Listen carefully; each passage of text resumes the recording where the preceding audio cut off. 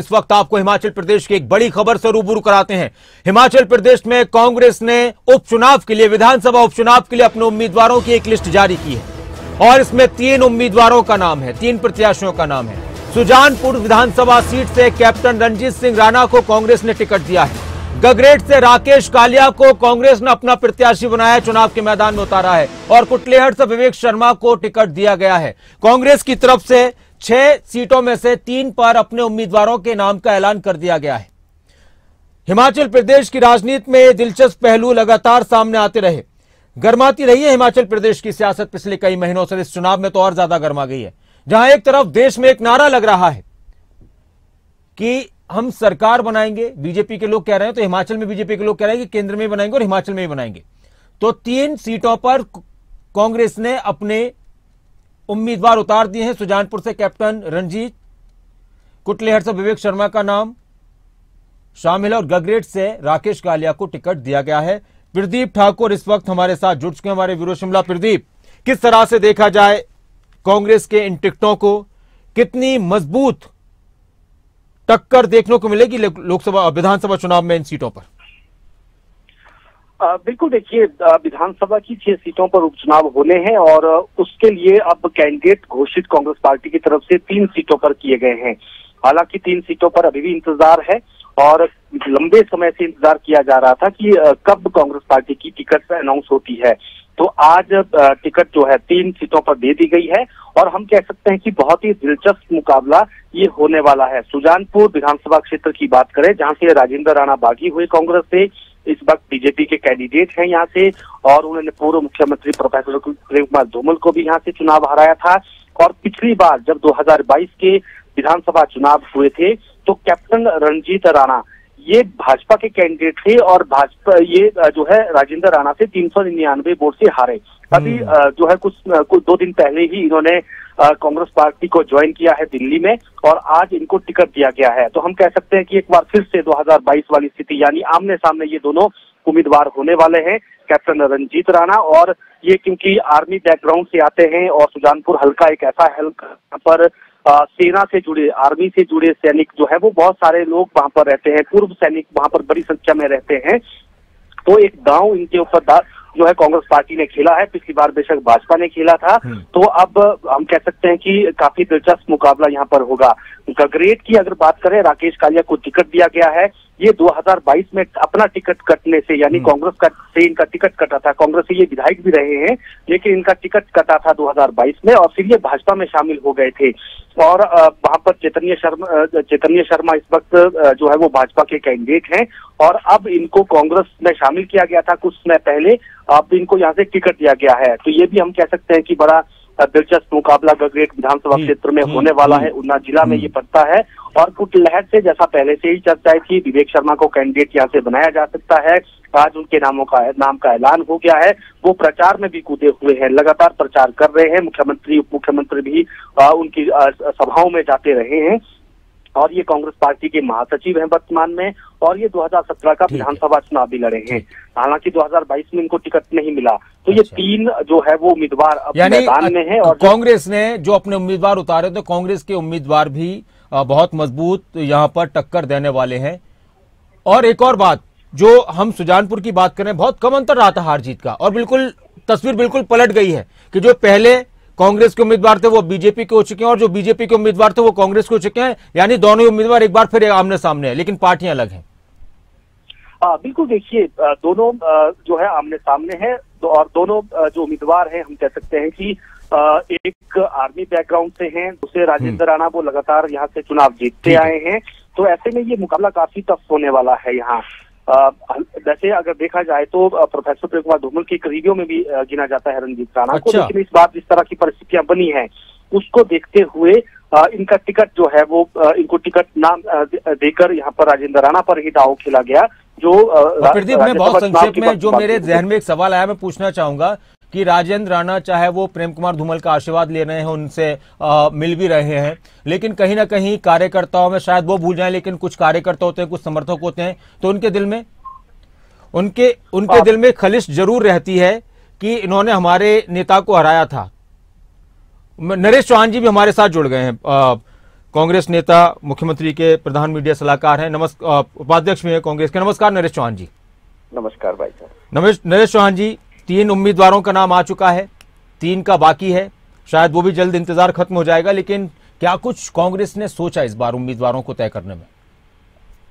देखिए स्वाभाविक तौर पे इन छह जगह में कांग्रेस कई वर्षों से यही लोग कांग्रेस के नेता थे। हम्म।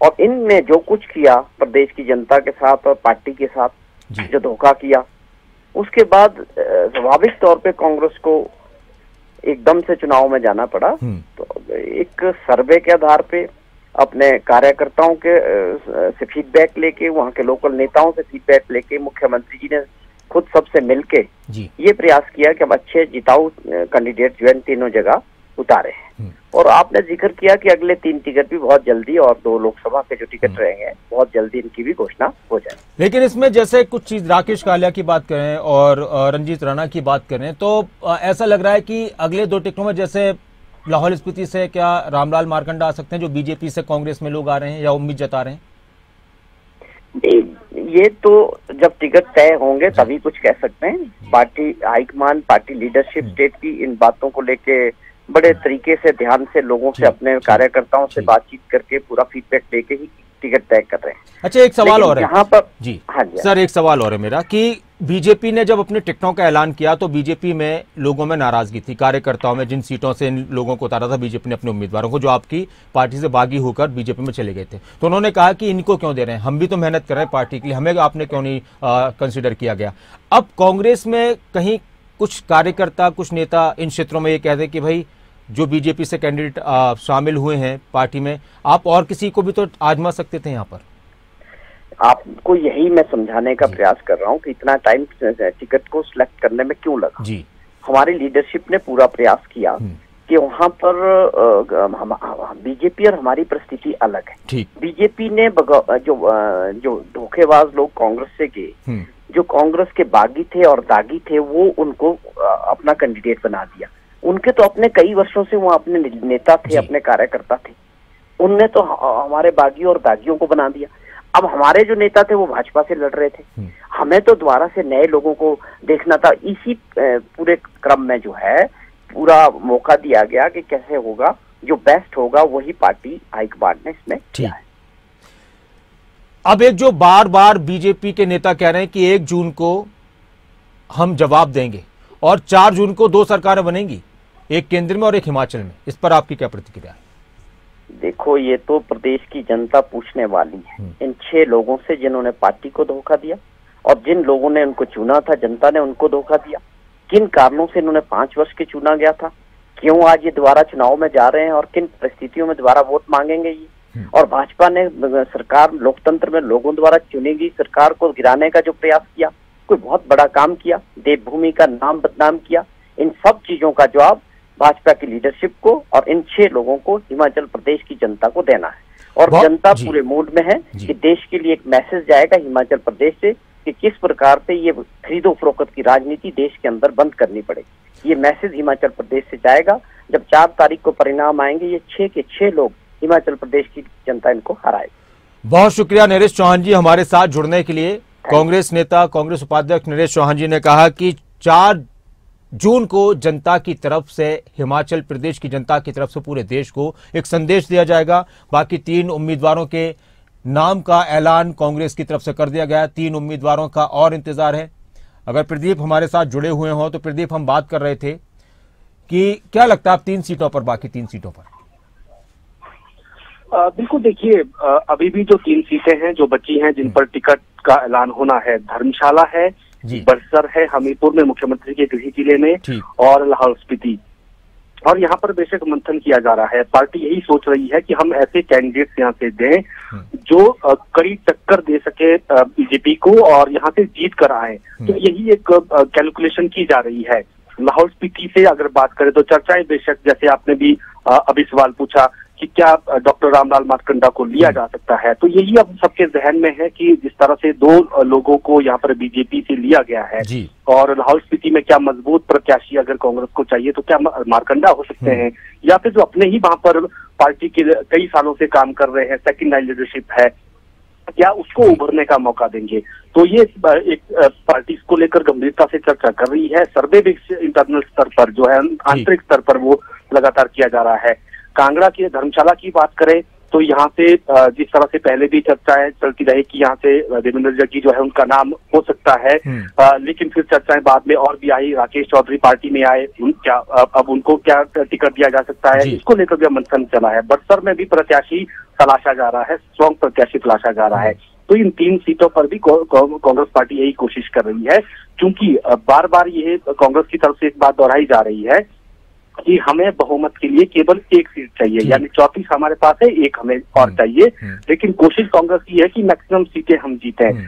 उसी से जो है एक स्थिर सरकार जो है वो प्रदेश को मिल पाएगी। तो उसमें कितना सफल जो है कांग्रेस पार्टी होती है कितने मज़बूत प्रत्याशी दिए जाते हैं पार्टी की तरफ़ से तो ये सारी बातें अब देखने की होगी। और जिस तरह से एक सूची आ जाई है अभी हालाँकि लोकसभा की भी दो सीटें हैं हमीरपुर और कांगड़ा संसदीय क्षेत्र तो वहाँ से भी अभी उम्मीदवार दिए जाने हैं और जो बाकी दो उम्मीदवार दिए हैं वो लगातार प्रचार पर उतरे हैं। हमने आज भी देखा मुख्यमंत्री खुद विनोद सुल्तानपुरी के प्रचार में आ, उतरे बाकायदा हेलीकॉप्टर लेकर डोडरा क्वार जो सबसे दुर्गम क्षेत्र है शिमला का हम्म। जो बर्फबारी में शेष शिमला से कट जाता है चार पाँच पाँच महीने के लिए। तो कहीं ना कहीं कोशिश है जो है कांग्रेस पार्टी ने की है जहाँ उन्हें लगता है कि हम यहाँ सीधी टक्कर हम सीधी फाइट दे सकते हैं। वहाँ प्रत्याशी पहले लोकसभा में उतारे गए। और ठीक वैसे ही विधानसभा उपचुनाव में भी पहली सूची हम्म। उनको पहली सूची में उन क्षेत्रों के नाम है जहाँ से कांग्रेस को लगता है कि हम सीधी टक्कर यहाँ देने की स्थिति में है जीतने की स्थिति में है तो इसलिए वो कैंडिडेट दे दिए गए हैं। और जहाँ पर अभी कैंडिडेट देने यानी मैं बहुत संक्षेप में एक प्रतिक्रिया की जब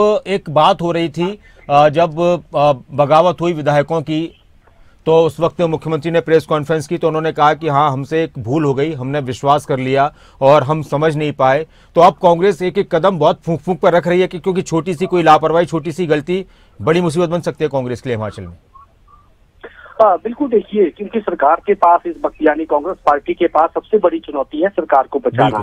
तो ऐसे में कोई भी ऐसा कदम नहीं उठाया जाएगा पार्टी की तरफ़ से जो गलत साबित हो जाए हम्म। और बाद में पार्टी को धोखा खाना पड़े या फिर पार्टी फुट पर हाँ। आ जाए और किसी तरह बिल्कुल। तो ऐसे में ये सारी कोशिशें जो है वो की जा रही है। इसलिए एक एक कदम फूंक फूंक कर रखा जा रहा है।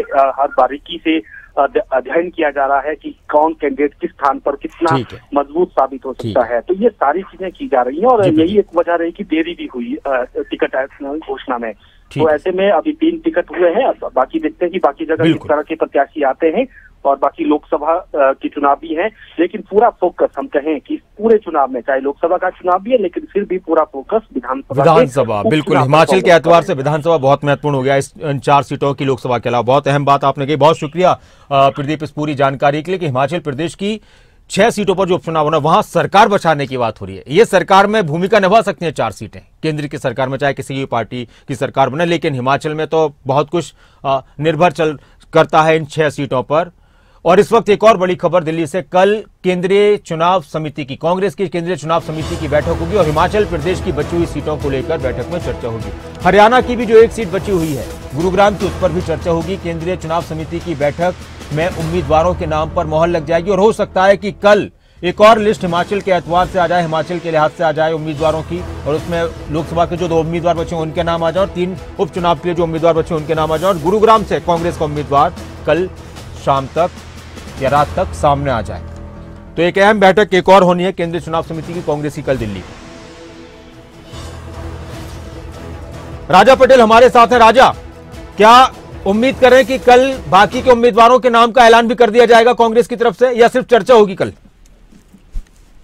और बिल्कुल देखिए कल सुबह कांग्रेस चुनाव समिति की बड़ी बैठक है। हिमाचल की दो बची हुई सीटें और हरियाणा की एक बची हुई सीटों को लेकर पूरा मंथन होगा। हम्म। और जो जानकारी है कि इस मंथन के बाद हिमाचल जो कांग्रेस के दो उम्मीदवारों की जो सूची है वो देखने को मिल सकती है। पर ये बड़ा मंथन है क्योंकि लगातार हिमाचल के मुख्यमंत्री दिल्ली दौरे पर हैं। ऐसे में कल कांग्रेस के राष्ट्रीय अध्यक्ष मल्लिकार्जुन खड़गे सोनिया गांधी और तमाम जो हिमाचल के बड़े नेता हैं वरिष्ठ नेता हैं उनके साथ हिमाचल की टिकटों को लेकर ये बड़ा मंथन दिल्ली में देखने को मिलेगा। बहुत शुक्रिया राजा पूरी जानकारी के लिए।